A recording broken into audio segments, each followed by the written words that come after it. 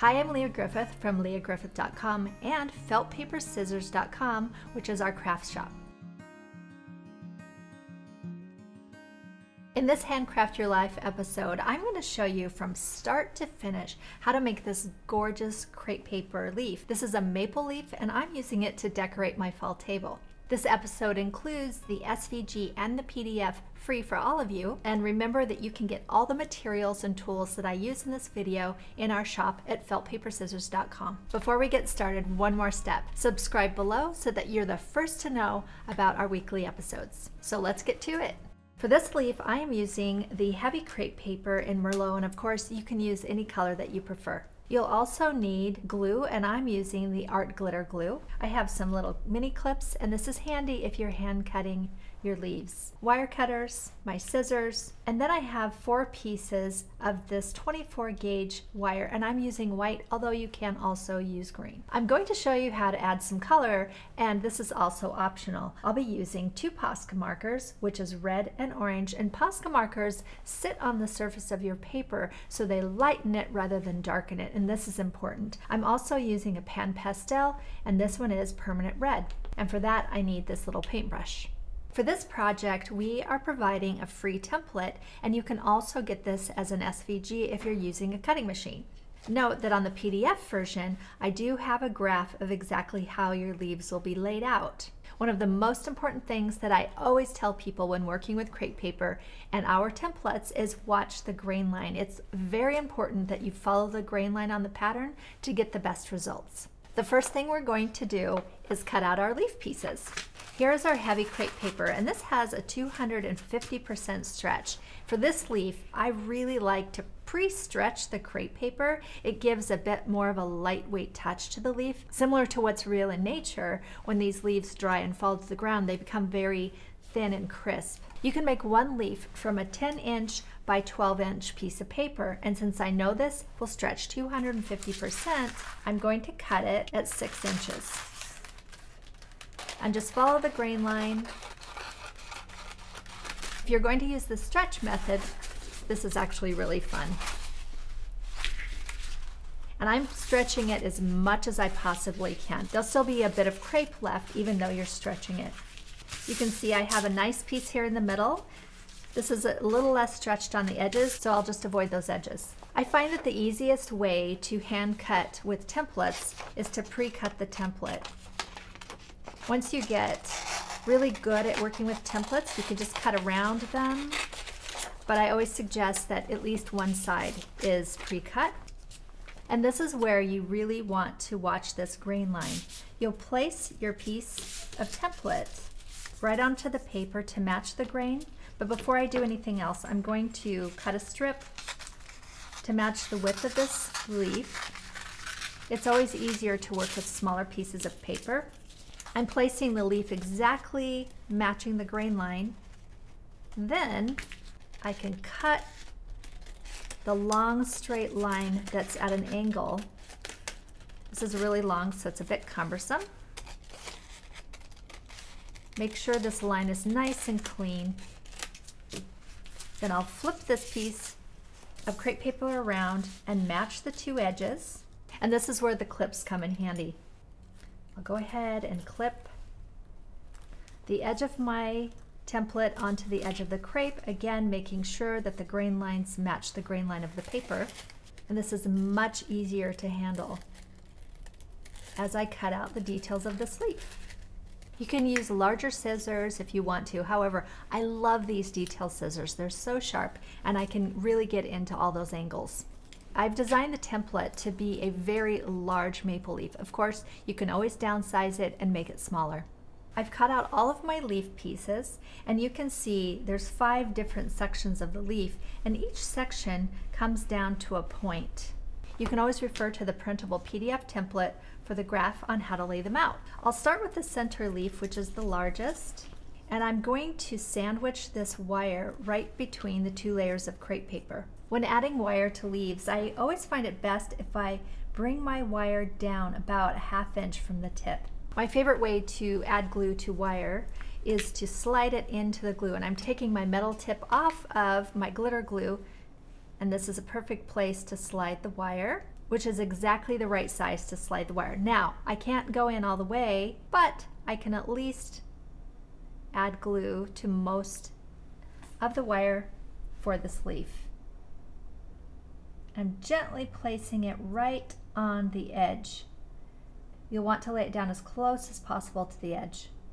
I'll add some extra glue to the tip and a little bit more down here where I wasn't able to slide it into the glue bottle. Then carefully overlap the leaf. This glue will dry clear, so it's okay if some of your glue peeks out from the edges. I always find that leaves look the most refined when there's less overlap and less paper. And also, use your finger to press it down. You really want those edges flat. One side done, I'll flip it over and press down the other side. And then I'll set that aside ready to dry. And I'll repeat this with the rest of my leaf pieces. A tip that I like to use to get those overlaps really narrow is to actually pick it up before it's completely pressed down and hold it up to the light and you can kind of pull it off, move it around a bit, and then just really manipulate both sides of the paper so that you have a beautiful overlap. For the two smallest pieces of the leaf, I only need half of the wire. So I'll go ahead and clip that in half and then wire the leaf pieces. Out of all of the pieces of the leaves I've done so far, I have to say that this one is the perfect overlay. I'm pressing the wire and the paper between my fingers. Or you can lay it on the table and press it down this way. All five pieces are glued and now we're going to attach them. I think the easiest way to start that is bending the wires right at the base of the leaf and you can line it up right there at the edge. And I've put the metal tip back onto my glitter glue remove the pin. You always want to keep the pin in because this glue dries fast. And I'm putting a thin bead of glue right on the edge, overlapping it with the second piece. And once I have it somewhat in place, I'll hold it up to the light, make sure it doesn't have too much of an overlap. That looks good. Press it down, and I'll do the other side. Your leaf will be a little bit floppy when it's drying, so make sure that you hold the center when you pick it up. And at this point, I'm going to go and make sure all my joins have a nice perfect point. Something that I noticed when I made a few of these is I don't always match up really well at the center. Sometimes it's a bit trickier. So a great way to solve that is take a piece of your pre-stretched crepe paper. I'm just gonna cut a small strip and I'm gonna cut a nice little arch like this. Make sure it's stretched out as best as possible. Add some glue to the tip and then just overlap right at the base to cover any joining parts so that your wire is completely covered. And you can do that on both sides. I don't want my stems quite that long, so I'll use my wire cutters and clip them off. And for this leaf, these wires, the stem of the leaf is about two inches. Now I'll take my pre-stretched crepe paper fold it and I'm going to cut about a quarter of an inch strip off of the end and make sure when you do this that you're cutting it against the grain so that the grain goes sideways. And this is going to make a nice strip of crepe to wrap the leaf stem. I'll start by adding some glue to the top. Press the end of my crepe paper into place. And this is pre-stretched crepe paper. Then I'll wrap it around the stem, stretching it even more as I move down the stem.